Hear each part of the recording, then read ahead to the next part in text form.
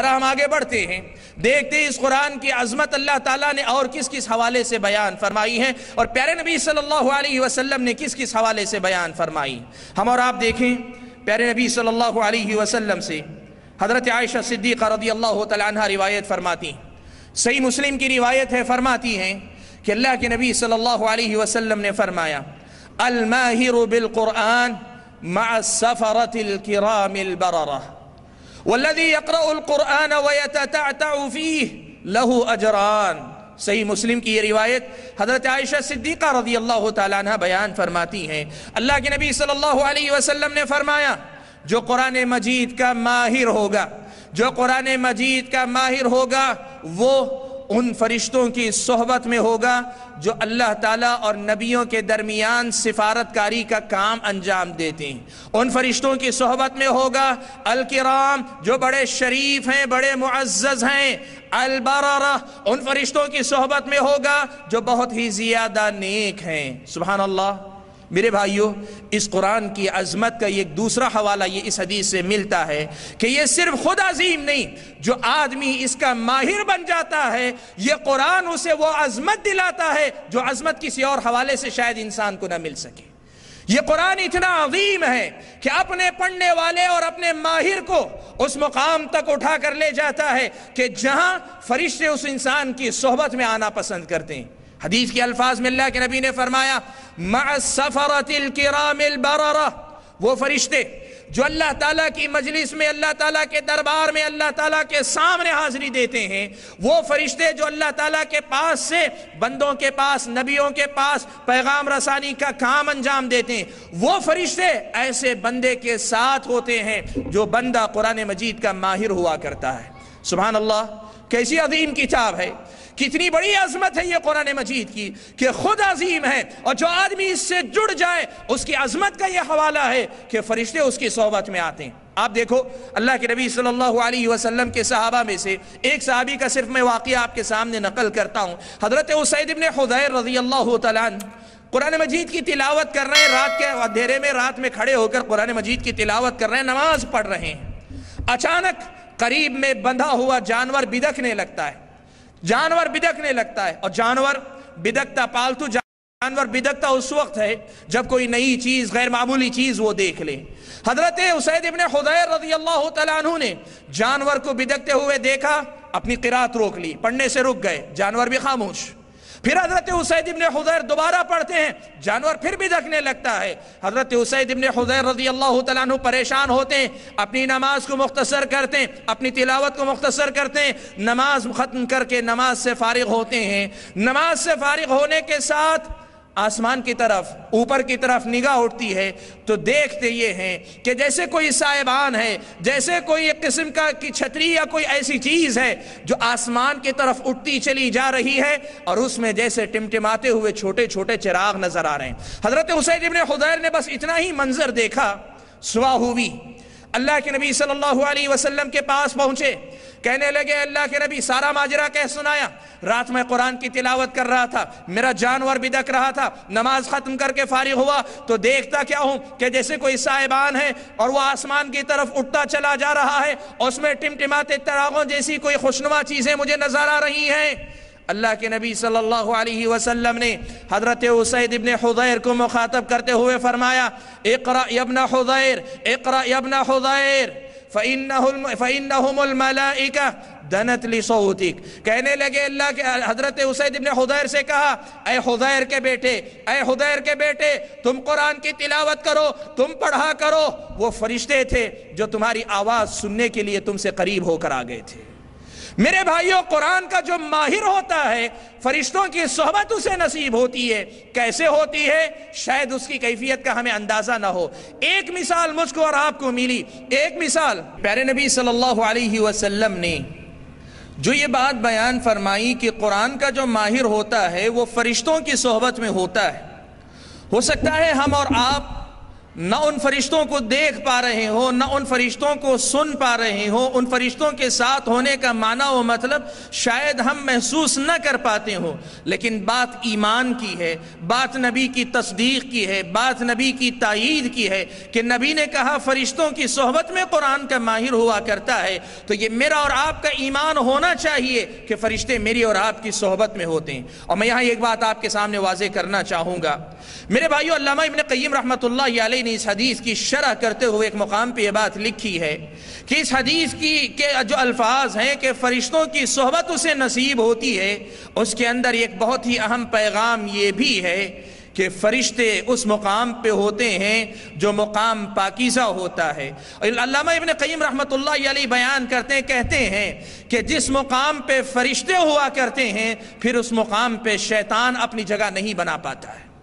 जिस मुकाम पे फरिश्ते होते हैं, शैतान फिर उस जगह अपना मुकाम नहीं बना पाता है। अल्लामा इब्न कईम अलैहि ने गजव बद्र वगैरह के हवाले से ये बात लिखी है कि जब कभी फरिश्ते आते हैं, शैतान अपनी जगह खाली कर देता है। और इस हवाले से अल्लामा इब्न कईम अलैहि ने यह बात लिखी है कि एक आदमी अगर वाकई मानों में कुरान का माहिर हो जाता है, पूरी महारत के साथ कुरान की तिलावत करने लगता है तब फिर फरिश्तों का साथी बन जाए। या फरिश्तों की सोहबत उसे मिल जाए। तो मामला यह होता है कि शैतान फिर उससे दूर हो जाता है। शैतान उससे दूर हो जाता है। और शैतान के दूर होने का मतलब क्या हुआ? मेरे भाई, आज जो हम ज़िंदगी में इम्तिहान दे रहे हैं, खैर शर का ये जो मुकाबला मैं और आप कर रहे हैं, ये जो लड़ाई हम लड़ रहे हैं अपने नफ्स के खिलाफ, शैतान के खिलाफ, आप जानते हैं, इंसान को गुमराह करने के दो ज़रिए एक दाखिली तौर पर इंसान का अपना नफ्स है, खारिजी तौर पे शैतान है। आप देखें, कुरान के आप माहिर हो जाएँ और उसके नतीजे में फरिश्तों की सोहबत आपको मिल जाए और फरिश्तों के साथ होने के नतीजे में शैतान आपसे दूर भाग जाए, आपने बुराई के खिलाफ आधी जंग खुद ब खुद जीत ली। आपने शैतान को खुद ब खुद शिकस्त दे दी। शैतान को आपने खुद ब खुद दूर कर दिया और अल्लाह ताला के फजलो करम से, अल्लाह ताला ने अपने कलाम की तासीर से शैतान के शर से आपको और मुझको बचा लिया है। और इतना ही नहीं, ये बात भी हम और आप जहन में रखें। आज माहौल रूहानी बीमारियों की शिकायत का है। लोग कहते हैं किसी पे जिन का असर है, किसी पे जादू का असर है, फुलां का परेशान करता है, फुला ने जादू कर दिया। सारे शैतानी करतूत, सारी शैतानी हरकतें बेअसर हो जाएँगी इन बेअसर हो जाएँगी बिजनिल्लाह कुरान के माहिर अपने घरों में पैदा करो। कुरान का माहिर अपने आप को बनाओ। कुरान को पूरी महारत के साथ पढ़ना सीख लो। एक मरतबा कुरान के माहिर बन गए। कुरान को पूरी महारत के साथ पढ़ने की आदत डाल ली। और उसी एहतमाम के साथ पढ़ने लगे, शायद तुम्हारी और मेरी, मेरे और आपके घराने की, मेरे और आपके मुआशरे की, ये बेशुमार शिकायतें, ये अवहम खुराफात, ये जिन की कहानियाँ, ये जादू के किस्से, ये सारे के सारे खुद ब खुद घटने लगेंगे, खत्म होने लगेंगे। एक चीज़ कुरान के माहिर बन जाओ। सुबह अल्लाह ये कैसी अजीम किताब है। कुरान मजीद की अजमत का ये कितना बड़ा हवाला है। अल्लाह के नबी ने फरमाया कि जो आदमी कुरान का माहिर होता है, फरिश्ते उसकी सोहबत में आते हैं फरिश्ते उसका साथ इख्तियार करते हैं। और अल्लाह के नबी ने आगे फरमाया वल्लदी लहू अजरान। और जो बंदा ऐसा है कि वो कुरान पढ़ता है, पढ़ने की कोशिश करता है, लेकिन उसकी जबान लड़खड़ाती, अल्फाज अदा नहीं हो पाते। क्यों नहीं होते? उम्र दराज हो चुकी है। उम्र बड़ी हो चुकी है। बड़ी उम्र में कुरान के अल्फाज को अदा करना मुश्किल हो रहा है। तजवीद के कवायद सीखना मुश्किल हो रहा है। या फिर आदमी अजम का है, अरब नहीं है। अरब, अरबी ज़बान, उसकी अजमी ज़बान पर चढ़ नहीं रही है। अदायगी में मुश्किल हो रही है। लोग बसाओकात डरते हैं। कुछ भाई सवाल करते हैं, हम पढ़ना चाहते हैं, अल्फाज सही से अदा नहीं होते, हमें डर लगता है कि कहीं हम गुनहगार तो नहीं हो जाएँगे। देखो, अल्लाह के नबी सल्लल्लाहु अलैहि वसल्लम ने बयान फरमाया, कहा, वल्लजी यक़रउल वयततातउफी जो आदमी कुरान की तिलावत करता है और अपनी पूरी कोशिश के बाद भी जबान लड़खड़ा जाती है, अल्फाज सही से अदा नहीं होते। नबी ने यह नहीं कहा कि तुम गुनहगार नहीं होगे। नबी ने कहा, लहू अजरान, ऐसे बंदे को अल्लाह ताला दुगना अजराता फरमाएँगे। और सुबहान अल्लाह एक ऐसी अजीम किताब है, एक ऐसी अजीम किताब है कि हक उसका अदा नहीं हो रहा है, लेकिन अदा करने की जो कोशिश कर रहा है, उस कोशिश पे अल्लाह ताला उसे दुगने अजर का वादा फरमा रहे हैं। नबी की जबानी दुगने अजर का वादा अल्लाह ताला फरमा रहे हैं। दुगना अजर अल इल्म ने लिखा कि दुगने अजर का मतलब ये कि एक तो कुरान को पढ़ने का अजर मिलेगा और दूसरा जो मशक्क़त हो रही है, जो मुश्किल हो रही है, आदमी फिर भी कोशिश कर रहा है, इसका अजर भी अल्लाह तबारक अता फरमाएँगे। सुबह अल्लाह हदीस एक अल्लाह के नबी वसल्लम की, लेकिन अजमत का कितना बड़ा हवाला, अजमत की कितनी बड़ी दलील है जो अल्लाह के नबी सल्लल्लाहु अलैहि वसल्लम ने इसमें बयान फरमाई है। मेरे भाइयों, प्यारे नबी सल्लल्लाहु अलैहि वसल्लम की अहादीस का हम मुताला करें। नबी अकरम सल्लल्लाहु की अहादीस पे हम और आप नज़र डालें तो हमें ये बात भी मिलती है कि अल्लाह के नबी सल्लल्लाहु अलैहि ने दुनिया के दो अजीम लोगों का तस्करा फरमाया। आप जानते हैं, आदमी किसी से हसद कब करता है? जब उसके पास कोई ऐसी गैर मामूली चीज़ देखे, ऐसी कोई गैर मामूली चीज़ देखे जो उसे खुद हासिल नहीं है और हासिल कर भी नहीं पा रहा है तो आदमी जलता है और हसद करता है। आदमी ये तमन्ना करता है, काश मुझे भी ये मिल जाता या कभी आदमी की नीयत खराब हो तो तमन्ना ये करता है, जब मेरे पास नहीं, अल्लाह ताला उसके पास भी ज़ाय कर दे। ये किसके साथ होता है? अजीम लोगों के साथ ही होता है। वो अजमत किसी भी हवाले से हो, वो अजमत किसी भी हवाले से हो, जो खुद अजीम होते हैं, जो खुद बड़े होते हैं माशरे में जलने वाले ऐसे ही लोगों के पैदा हुआ करते हैं। हासिदीन बाकमाल लोगों के ही हुआ करते हैं। और देखना, कुरान मजीद की अजमत का यह हवाला प्यारे नबी सल्लल्लाहु अलैहि वसल्लम ने बयान फरमाया। हज़रत अब्दुल्ला इब्ने मसूद रज़ी अल्लाह तआला रावी हैं। सही बुखारी व मुस्लिम की रिवायत है। अल्लाह के नबी ने फरमाया ला हसद इल्ला हसद जायज़ नहीं है या रश्क करना जायज़ नहीं है, मगर सिर्फ़ दो किस्म के लोगों में। दो किस्म के लोगों के बारे में ही सिर्फ़ तुम रश्क कर सकते हो। ये तमन्ना कर सकते हो कि तुम उन जैसे बन जाओ। तुम ये आरज़ू कर सकते हो। तुम अल्लाह ताला के सामने ये तलब रख सकते हो कि अल्लाह ताला मुझे भी उस जैसा बना दे। ऐसे पूरी कायनात में सिर्फ़ दो हैं। आज आप पूछें, बाकमाल लोग कौन हैं? हर मैदान में एक आदमी बाकमाल, हर मैदान में एक बाकमाल नज़र आता है। और दुनिया के हर मैदान की बात करें, मैदान ला तादाद तो बाकमाल लोगों की फहरिस्त भी बड़ी लंबी। लेकिन अल्लाह के नबी ने बयान फरमाया, इन तमाम मैदानों में और इन तमाम मैदान के बाकमाल लोगों में सिर्फ़ दो ऐसे हैं, सिर्फ़ दो ऐसे हैं, जिनके बारे में आदमी ये तमन्ना कर सकता है कि काश मैं भी उस जैसा हो जाऊँ। और ये दो कौन हैं? अल्लाह के नबी ने बयान फरमाया। एक आदमी वो, जिसे अल्लाह तबारक ताला ने कुरान मजीद अता फरमाया।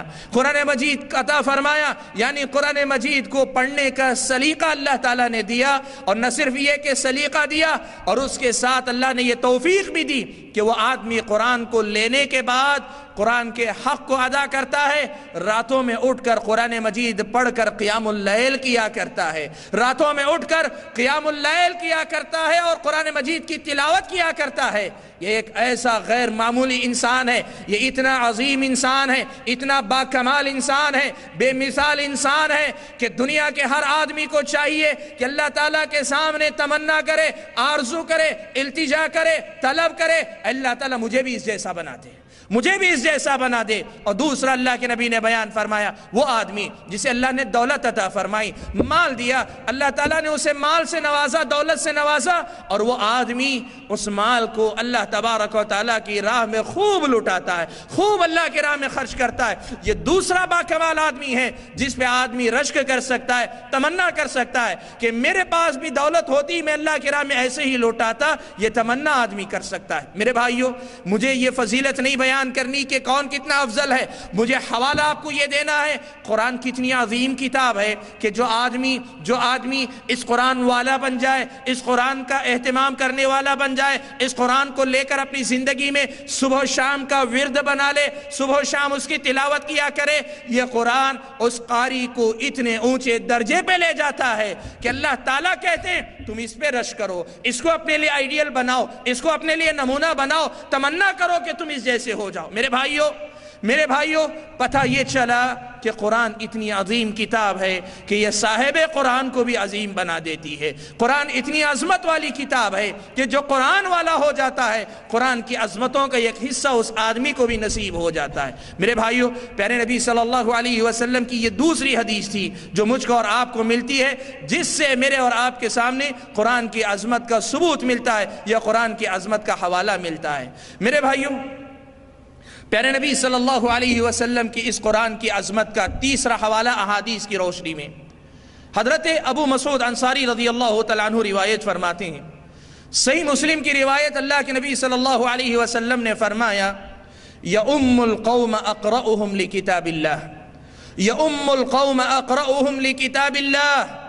अल्लाह के नबी ने बयान फरमाया, नमाज़ जो दीन का, कलिमे के इकरार के बाद सबसे पहला सुतून है।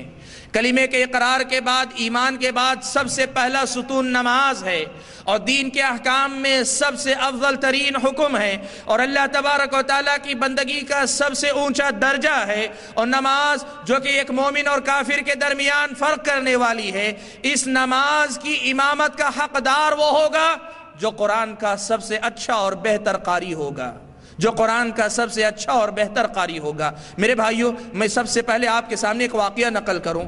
आप जानते हैं, प्यारे नबी सल्लल्लाहु अलैहि वसल्लम, प्यारे नबी सल्लल्लाहु अलैहि वसल्लम इस दुनिया से रुखसत हो गए। इस दुनिया से रुखसत हो गए। आप सल्लल्लाहु अलैहि वसल्लम के दुनिया से चले जाने के बाद साहब के राम ने बाहम मशवरे के बाद हज़रत अबू बकर सिद्दीक रज़ी अल्लाह तु को, आपका जानशीन, आपका नायब और मुसलमानों का खलीफा और मुसलमानों का इमाम मुंतखब फरमाया। साहबा ने हज़रत अबू बकर सिद्दीक को नबी अकरम वसल्लम का नायब और मुसलमानों का इमाम और खलीफा मुंतखब किया। अहले इल्म ने लिखा है कि साहब कराम ने जिन बुनियादों पर, जिन बुनियादों पर हज़रत अबू बकर सिद्दीक की खिलाफत का फैसला फरमाया उनमें से एक अहम बुनियाद, बल्कि बाज़ इल्म की नज़र में सबसे अहम बुनियाद ये थी कि अबू बकर वो हैं जिन्होंने नबी की ज़िंदगी में नबी के मुसल्ले पे इमामत फरमाई है। और जिसने नबी की ज़िंदगी में नबी के मुसल्ले पे नियाबत की है, नबी के मुसल्ले पे जिसने इमामत की है, नबी की ज़िंदगी के बाद नबी की इमामत का हकदार भी वही होगा। सहाबा का ये इस्तलाल था, हज़रत अबू बकर सिद्दीक रज़ी अल्लाह तु को खलीफा बनाने में। मालूम यह हुआ कि नमाज़ में इमामत एक ऐसा ऊँचा मुकाम है कि उस मुकाम पे लोगों ने अबू बकर को देख लिया, उस अबू बकर को कौम का इमाम बना दिया, उस अबू बकर को उम्मत का खलीफा बना दिया, उस उम्मत को नबी का नायब बना दिया और नबी के बाद, नबी के बाद इस उम्मत का जिम्मेदार बना दिया। और उस मुसल्ले पे खड़े होने का हक कौन दिलाता है? उस मुसल्ले पे खड़े होने का सबसे ज़्यादा हकदार कौन सी चीज़ किसी को बनाती है? हदीस से मालूम हुआ, वो कुरान है जो आदमी को उस मुकाम का हकदार बनाती है। बनाता है। कुरान मजीद, अल्लाह के नबी ने फरमाया यौम अकरम किताबिल्ला कौम की इमामत करेगा वो जो कुरान मजीद का सबसे बड़ा कारी होगा, सबसे अच्छा कारी होगा। मतलब ये हुआ कि जो मुकाम उम्मत की इमामत का है, उम्मत की खिलाफत का है, उम्मत की क़ियादत का है, वो मुकाम असल में मिलता है नमाज़ के अंदर। नमाज़ के अंदर अगर मिलता है तो वो मुकाम कुरान मजीद के हवाले से मिलता है और कुरान मजीद के ज़रिए अल्लाह तबारक वाली दिला जाते हैं। सुबहान अल्लाह सोचो, ये कैसी अजीम किताब होगी, जो आदमी को, वो करचे इमाम, वो गर्चे जो है, गुलाम होगा, लेकिन नमाज़ के मामले में उसी को इमाम बनाया जाएगा। और सुबहान अल्लाह ये इमामत ये इमामत सिर्फ़ दुनिया में बाकी नहीं रहती, कुरान मजीद वो किताब है, वो अजीम किताब है, कि मरने के बाद भी आदमी की अजमत को ये किताब बरकरार रखती है। वो आदमी मर जाता है, दुनिया से रुखसत हो जाता है। लेकिन कुरान मजीद ये ऐसी अजीम किताब है कि साहिब कुरान की अजमत को वह किताब बरकरार रखती है। देखें, आपने सुना होगा गजब का मौका है। मुसलमानों को पहले पहल फतह नसीब हुई। मुसलमान पहले पहल फतह हासिल किए। उसके बाद मुसलमानों को शिकस्त हुई। एक मसले में नबी अकरम वसल्लम के हुक्म को नज़रअंदाज करने के नतीजे में या उसके समझने में लोगों ने उतनी तवज्जो नहीं दी जितनी चाहिए थी, उसके नतीजे में मुसलमानों को शिकस्त हुई। मुसलमान बराबरी पर जंग ख़त्म करके फारिग होते हैं। मुसलमान सत्तर से ज़्यादा शहीद और सत्तर से ज़्यादा सहाबा शदीद ज़ख्मी, बल्कि तकरीबन मुसलमान शदीद किस्म के ज़ख्मों से दो चार। अल्लाह के नबी सल्लल्लाहु अलैहि वसल्लम ने देखा कि अब शहीद होने वाले मुसलमानों में से हर मुसलमान के लिए एक एक अलग अलग कब्र नहीं बनाई जा सकती। साहबा इतने जख्मी हैं कि इतनी कब्रें नहीं खोद सकते। अल्लाह के नबी ने साहबा को हुक्म दिया, एक काम करो, जो कब्रें खोद रहे हो, उन्हीं को थोड़ा कुशादा कर दो, थोड़ा ज़्यादा उसके अंदर जगह पैदा कर लो और एक एक कब्र में दो दो तीन तीन साहबा जो शहीद हुए हैं, उनकी तदफीन कर दो। अल्लाह के नबी वसल्लम ने फैसला फरमाया।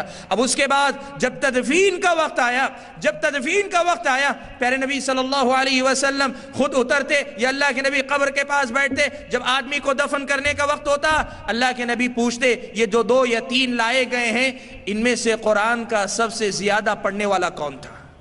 अल्लाह के नबी पूछते, कुरान का बेहतर कारी कौन था? बताया जाता फुला। तो अल्लाह के नबी सबसे पहले उसे किबले की तरफ़ रखते, कब्र में सबसे पहले उसे रखते और फिर उसके बाद दूसरे नंबर पे, तीसरे नंबर पे जो तरतीब होती, उस एतबार से अल्लाह के नबी वसल्लम ने शहदा उहद की तदफीन फरमाई। मालूम क्या हुआ? कुरान मजीद वो किताब है जो ज़िंदगी ही में नहीं, अगर हम अपने अल्फाज में कहना चाहें, मरने के बाद भी साहेब कुरान की इमामत और अजमत को बरकरार रखती है। साहेब कुरान की इमामत और अजमत को बरकरार रखती है। नबी ने किबल रुख पर सबसे पहले उन सहाबा को रखा, जो सहाबा कुरान मजीद के ज़्यादा बेहतर कारी थे, ये ज़्यादा ज़्यादा पढ़ने वाले थे। अल्लाह के नबी वसल्लम की ये बात मेरे और आपके सामने कुरान मजीद की अजमत के एक और पहलू को वाजे करती है। मेरे भाइयों, हम और आप, प्यारे नबी सल्लल्लाहु अलैहि वसल्लम की अहादीस, नबी अकरम सल्लल्लाहु अलैहि वसल्लम के बहुत सारे बहुत सारे जो बहुत सारे जो अकवाल हैं अहादीस हैं। उनका अगर जायज़ा लेकर देखें, हमारे सामने ये हवाला मिलता है कि कुरान मजीद वो अजमत वाली किताब है कि दुनिया तो दुनिया, आखिरत में भी साहेब कुरान के मरतबे को ऊँचा करती है। साहेब कुरान को अल्लाह तबारक ताली इस कुरान की अजमत की वजह से अजीम बना देते हैं। आप जानते हैं, हज़रत अब्दुल्ला इबन अमर इबन आस रज़ी अल्लाह तरावी मुस्नद अहमद और तिरमिदी की रिवायत है। अल्लाह के नबी सल्लल्लाहु अलैहि वसल्लम ने फरमाया, कुरान कुरान के कारी को अल्लाह ताला क़ियामत के दिन तलब करेंगे और उससे कहेंगे, इकरा वर्तकी कुरान पढ़ता जा और जन्नत के जो दर्जे हैं, जन्नत के जो मुकामात हैं, उन पर ऊपर से ऊपर चढ़ता जा। कुरान पढ़ता जा और उसी तरीके से तरतील करता जा, जैसे तरतील के साथ तो दुनिया में पढ़ा करता था, जैसी तरतील तो दुनिया में करता था, उसी तरतील के साथ कुरान पढ़ता जा, जन्नत के दर्जात में ऊँचे से ऊँचे दर्जे पर चढ़ता जा और तेरा मुकाम वही होगा जहाँ पहुंचकर तेरी किरात खत्म होगी, तेरा मकाम वही होगा जहाँ पहुंचकर तू पढ़ने से रुक जाएगा। ये बात अल्लाह के नबी सल्लल्लाहु अलैहि वसल्लम ने बयान फरमाई। मालूम क्या हुआ? कुरान इतनी अजीम किताब है, ऐसी अजमतों वाली किताब है कि साहेब कुरान को क़यामत के दिन जन्नत में भी अजमत वाला बनाएगी, ऊँचे से ऊँचे दर्जे तक पहुँचाने वाला बनाएगी। सुबह अल्लाह मालूम यह हुआ मेरे भाइयों कि कुरान मजीद की अजमत के लिए प्यारे नबी सल्लल्लाहु अलैहि वसल्लम ने बहुत सारे हवाले दिए। एक और हवाला आपके सामने नकल करूँ। सही मुस्लिम की रिवायत, हज़रत उमर इबन खत्ताब रदी अल्लाह तरावी अल्लाह के नबी सल्लल्लाहु अलैहि वसल्लम ने बयान फरमाया कि इन अल्लाह किताब अकवामा व भी आखरीन। अल्लाह तबारक ताली इस किताब के ज़रिए बहुत सारे लोगों को ऊँचा उठाते हैं और वहीं बहुत सारे लोगों को अल्लाह तबारक ताली निचला कर देते हैं, गिरा देते हैं। भाइयों, बड़ी अजीम शान हदीस है। बड़ी ही ज़बरदस्त किस्म की हदीस है और आज का ये पैगाम है उम्मत मुस्लिमा के नाम। मेरे भाइयों, उम्मत मुस्लिमा के नाम ये पैगाम है प्यारे नबी सल्लल्लाहु अलैहि वसल्लम की यह हदीस कुरान की अजमत का हवाला भी है और उम्मत मुस्लिमा को पैगाम भी है कि कुरान की अजमत को जाने और पहचाने। नबी ने फरमाया कि इन किताब अकवामा। इस किताब के ज़रिए अल्लाह ताला बहुत से लोगों को ऊँचा उठाते हैं। वही आखरीन। और अल्लाह ताला इसी की वजह से बहुत सारे लोगों को जलील रसवा करते हैं। प्यारे नबी सल्लल्लाहु अलैहि वसल्लम के ज़माने के बाद हज़रत उमर इबन ख़त्ताब रज़ी अल्लाह तु की खिलाफत का दौर था। हज़रत उमर इबन ख़त्ताब रज़ी अल्लाह तु ने नाफ़ इबन अब्दुल हारिस को मक्के का गवर्नर मुतन किया था। मक्का की गवर्नरी नाफ़ इबन अब्दुल हारिस को हज़रत उमर इबन ख़त्ताब रज़ी अल्लाह तु ने अता फरमाई थी। हज़रत उमर इबन ख़त्ताब रज़ी अल्लाह तु मक्के की तरफ़ सफ़र के लिए निकले। नाफे को पता चला हज़रत उमर आ रहे हैं मक्का से निकलकर उस्फान नामी मुकाम पर इस्तकबाल के लिए चले आए। हज़रत उमर इबन ख़त्ताब रज़ी अल्लाह तु ने हज़रत नाफे से पूछा कि, नाफे, मेरे इस्तकबाल के लिए तुम मक्का से वादी से तो निकल आए हो, लेकिन निकल कर आने से पहले अपनी जगह जिम्मेदार किसको मुतन करके आए हो? कौम को तुम पीछे छोड़ कर आए हो तो अपनी जगह तुमने किसको जिम्मेदार मुतन किया है? हज़रत नाफे ने कहा, इबन अफजा को इब्ने अफजा अब्दुलरहमान इब्ने अफजा उनका नाम है। नाफे ने कहा, इब्ने अफजा को मैंने अपनी जगह नायब की हैसियत से मुतन फरमाया है। हज़रत उमर इबन ख़त्ताब रज़ी अल्लाह तु इबन अफज़ा को नहीं जानते थे। इबन अफज़ा को हज़रत उमर नहीं जानते थे। हज़रत उमर इबन ख़त्ताब रज़ी अल्लाह तु ने पूछा, ये इबन अब्ज़ा कौन है? तो हज़रत नाफे ने कहा, मौलम मवालीना। मौलम मवालीना, कहा, हमारे गुलामों में से ये गुलाम हैं, या फिर ऐसे आदमी हैं जो हमारे कबीले के साथ आकर मिल गए हालाँकि उनका हसब व नसब बहुत ज़्यादा ऊँचा नहीं। इसलिए कि अरबी ज़बान में वला के दोनों माने आते हैं, मौला के दोनों माने आते हैं। या तो हमारे गुलामों में से ये गुलाम हैं एक ऐसे आदमी हैं जिनका ख़ानदान कबीला नहीं था, लेकिन हमारे साथ मिलकर हमारे ख़ानदान कबीले का हिस्सा बन गए हैं। हज़रत उमर इबन ख़त्ताब रज़ी अल्लाह तु गज़बनाक हो गए। गुस्सा हो गए। कहने लगे, तुमने कौम पर ये गुलाम को, या एक मौला को तुमने अमीर मुतन कर दिया? ये गुलाम को तुमने उनका जिम्मेदार बना दिया? हज़रत उमर इबन खत्ताब रज़ी अल्लाह तु अपनी नाराज़गी का इजहार कर रहे थे। नाफ इबन अब्दुल हारिस ने, नाफ इबन अब्दुल हारिस ने हज़रत उमर इबन खत्ताब रज़ी अल्लाह तु को मुखातब करके कहा, अपने फेल के लिए, अपने काम के लिए मुबर्र पेश किया। सबब बताया, कहने लगे कि असल मामला ये है, उमर कि इबन अफजा हैं तो मौला ही, हैं तो ग़ुलाम ही। लेकिन मामला ये है कि कुरान के बड़े अच्छे कारी हैं और फ़राइज़ का जो इल्म है इल्म मीराज के बड़े अच्छे आलिम हैं। कुरान के कारी हैं, इल्म मीराज के बड़े माहिर हैं। इसलिए मैंने उनको, उनका जिम्मेदार मुतन किया है। वही उमर, जो थोड़ी देर पहले नाफे इबन अब्दुल हारिस पे नाराज़ हो रहे थे, भड़क रहे थे, डांट रहे थे, डपट रहे थे, फ़ौरन हज़रत इबन अफजा की तायद करने लगे और कहने लगे कि अल्लाह के नबी सल्लल्लाहु अलैहि वसल्लम ने कहा था इन किताब अकवामा। अल्लाह ताला इस किताब के ज़रिए कुछ लोगों को ऊँचा उठाएँगे। तो ये वही मिसाल है। मतलब क्या हुआ? हज़रत उमर इबन ख़त्ताब रज़ी अल्लाह तु ने इस बात को तस्लीम किया, कुरान का अगर कारी है, वो दुनिया की नज़र में ग़ुलाम होगा। लेकिन उमर की नज़र में, हज़रत उमर की नज़र में कौम की इमामत और गवर्नर की नियाबत का वह हकदार होगा अगर वह कुरान का अच्छा कारी है और एक बेहतरीन आलिम है। यह हज़रत उमर इबन ख़त्ताब रज़ी अल्लाह तु ने गवाही दी। और न सिर्फ़ ये, हज़रत उमर इबन ख़त्ताब ने यह भी बताया कि नबी ने जो कहा है कि अल्लाह ताला कुछ लोगों को इस कुरान के ज़रिए ऊँचा उठाते हैं, उसका मिसदाक, उसकी मिसाल इसी किस्म के लोग हैं। जो हैं तो निचले ख़ानदान के, हैं तो गुलाम, हैं तो वह लोग जिनकी कोई बज़ाहिर कदर कीमत नहीं। लेकिन इस्लाम की नज़र में, अल्लाह की नज़र में दीन की नज़र में, वो अल्लाह ताला की नज़र में बड़े ऊँचे लोग हैं। पता क्या चला मेरे भाइयों? ये कुरान वो अजीम किताब है, जिनको मुआशरा निचला समझे। कुरान वो अजीम किताब है, जो ऐसे निचले लोगों को भी अजमत वाला बना दे, ऊँचा बना दे। ये कुरान की अजमत का बहुत बड़ा सबूत